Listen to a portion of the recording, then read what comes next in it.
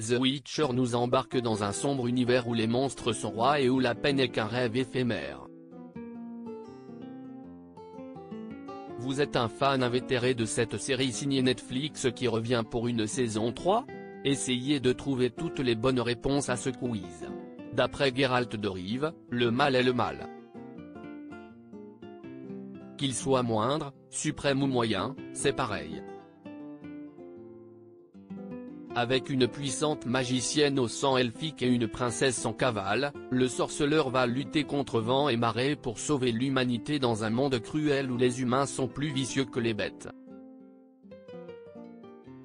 The Witcher, une série médiévale badass dans un monde de fantasy il n'a ni croc, ni cornes, ni griffes.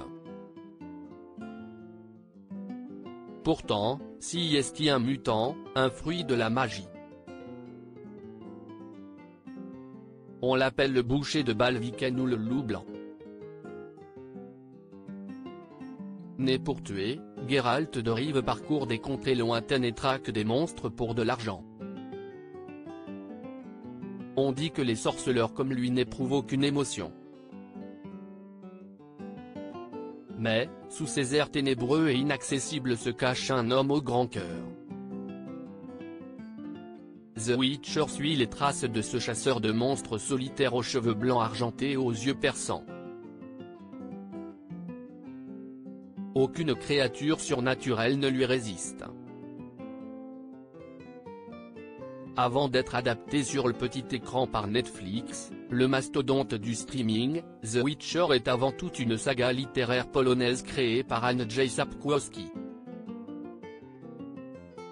best-seller qui a fait la renommée de son auteur, Le Sorceleur est composé de neuf livres et d'un roman indépendant. Le succès était tel que les aventures du Loup Blanc ont fait l'objet d'adaptations de comics, de jeux vidéo et d'une série, The Witcher. Oui The Witcher, êtes-vous un vrai fan de la série? Une trame très bien ficelée, les destins entrelacés des personnages, leurs relations, les costumes authentiques et le décor plus vrai que nature font de la série The Witcher un vrai petit bijou. La performance d'Henry Cavill, Superman, dans la peau de Geralt de Rive a été remarquable. Il a su incarner à la perfection l'aura mystérieuse du sorceleur et lui a donné vie de manière convaincante. Même si les deux parties de la troisième saison ne sont pas encore sorties, il nous tarde déjà de découvrir les premières images de la saison 4 avec Liam Hemsworth à l'affiche.